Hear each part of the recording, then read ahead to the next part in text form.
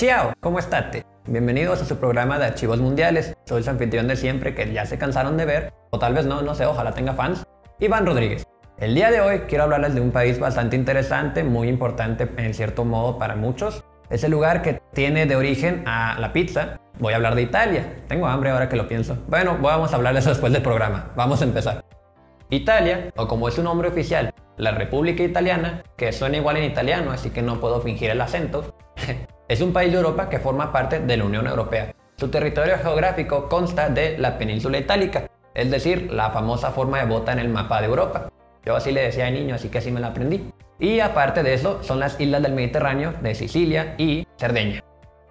La historia de Italia comienza durante la Edad de Hierro. Al principio de esta época, muchos grupos comenzaron a ocupar el territorio, pero se dividieron en tres núcleos geográficos principales que venían siendo el Asia Antiguo, Magna Grecia y Etruria. Los habitantes del Asia Antiguo ocupaban toda la zona norte de Italia, junto con Suiza y el sur de Francia. Mientras tanto, los etruscos ocupaban el territorio de lo que venía siendo la Toscana, era su zona principal, y ellos se comenzaron a extender desde el sur, viajando por lo que sería Lacio, y después tuvieron enfrentamientos con los griegos. Durante el siglo V, el poderío de los etruscos cayó debido a que se enfrentaban tanto a griegos como a celtas y a otros grupos, por ejemplo, lo que serían los cartagineses.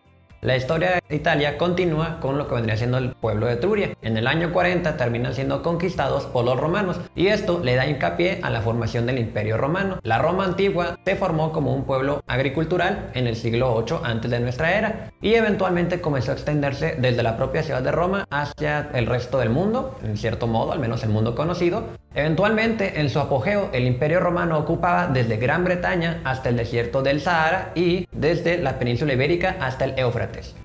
La historia política de Roma en esta época da tres fases. La primera fase fue convertirse en una monarquía etrusca, después cambia y se convierte en una república romano-latina y finalmente se convierte en el famoso imperio romano. Durante la época del imperio hubo una temporada de armonía conocida como la paz romana. En este periodo César Augusto cierra las famosas puertas del templo de Jano, las cuales estaban abiertas usualmente durante el periodo de guerra. Él las cierra debido a que se terminan guerras civiles dentro del territorio del imperio y esta paz dura hasta la muerte de Marco Aurelio en el 180. Después de esto, el emperador Diocleciano reorganiza el imperio y tras unos años después y con otro gobierno se termina dividiendo en dos partes, el imperio bizantino y el imperio romano de Occidente. El imperio romano de Occidente desafortunadamente cae contra invasiones bárbaras y esto da inicio en la cuestión de línea del tiempo a lo que es la Edad Media. Durante el inicio de la Edad Media, los ostrógodos, un grupo de godos que habían sido sometidos por los hunos, terminan siendo liberados y su líder, Teodorico el Grande, los lleva con la misión de ocupar el territorio de Italia. Entonces era gobernada por Odoacro. Entran en conflicto estos dos grupos y terminan siendo ocupados por Teodorico el territorio finalmente y muere Odoacro. Esto lleva a que, después de la muerte de Teodorico, se le herede la tierra de Italia a su nieto, quien muere sin tener hijos y provoca una crisis en la cuestión de la corona.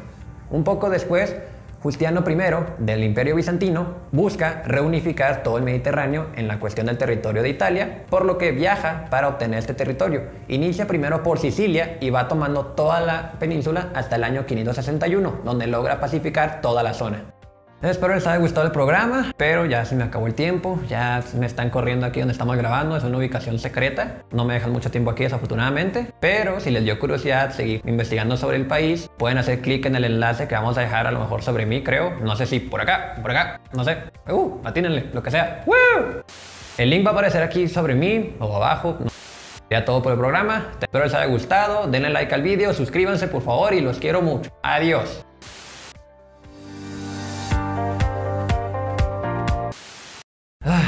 Qué elegimos Italia? Están muy complicados los nombres. Bueno, no están complicados, pero son raros, no sé, son viejos nombres. Entonces, Alejandro Magno, Carlo Magno, César Augusto, Teodioso, Teodosio, ya ni sé cómo se dice. Es Teodosio, ok, es Teodosio, Teodosio.